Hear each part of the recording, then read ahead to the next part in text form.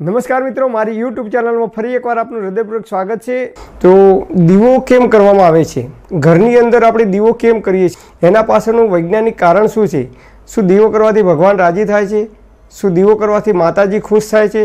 ના, તદ્દન ખોટી વાત. દીવો કરવાથી ભગવાન કે માતાજી ખુશ થતા નથી કે રાજી થતા નથી, પરંતુ દીવો કરવા પાછળનું એક વૈજ્ઞાનિક કારણ છે. દીવો કરવાથી એની અંદરથી જે ઊર્જા ઊર્જા ઉત્પન્ન થાય છે એમાં એક એવો વાયુ ઉત્પન્ન થાય છે કે જે પોઝિટિવિટી ફેલાવે છે અને એટલા માટે દીવો કરવાનું પરંપરા ચાલી આવે છે. તમે જુઓ, જે જગ્યાએ દીવો કરવામાં આવે છે, એ જગ્યાએ અંધકાર દૂર થાય છે અને પ્રકાશનો ફેલાવો થાય છે. એટલે કે એ જગ્યા ઉપર પોઝિટિવિટી ફેલાય છે. ઘરની અંદર જો નેગેટિવિટી હોય, તો એ દૂર થાય છે.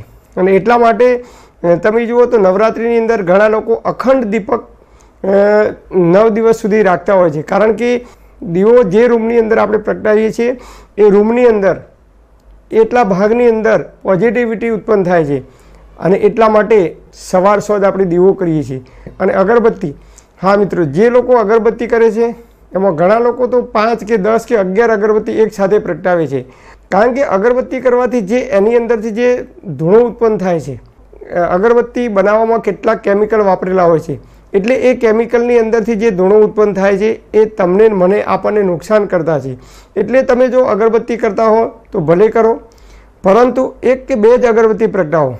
અને એ અગરબત્તી પ્રગટાવ્યા પછી ઘરની અંદર સુગંધ ફેલાવવા માટે તમે સારી અગરબત્તી વાપરો, તો ભલે વાપરતા, પરંતુ અગરબત્તી કર્યા પછી ઘરની અંદર જે ધૂણો ઉત્પન્ન થાય છે એનો અને એ આપણા શ્વાસોશ્વાસમાં જાય છે, એ નુકસાન કરતા છે.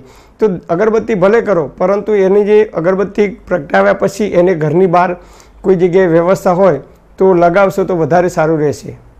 અને દીવો પ્રગટાવવાથી અંધકાર દૂર થાય છે અને પ્રકાશનો ફેલાવો થાય છે. એમ આપણા જીવનની અંદર પણ અજ્ઞાનરૂપી જે અંધકાર છે એ દૂર થાય અને સદજ્ઞાનરૂપી જે પોઝિટિવિટી વિચારો છે એ આપણા વ્યવહારની અંદર આવે, આપણા આચરણમાં આવે, એ ભાવ સાથે આપણે નિયમિત દીવો કરીએ છીએ. Thanks for watching my video. Thank you.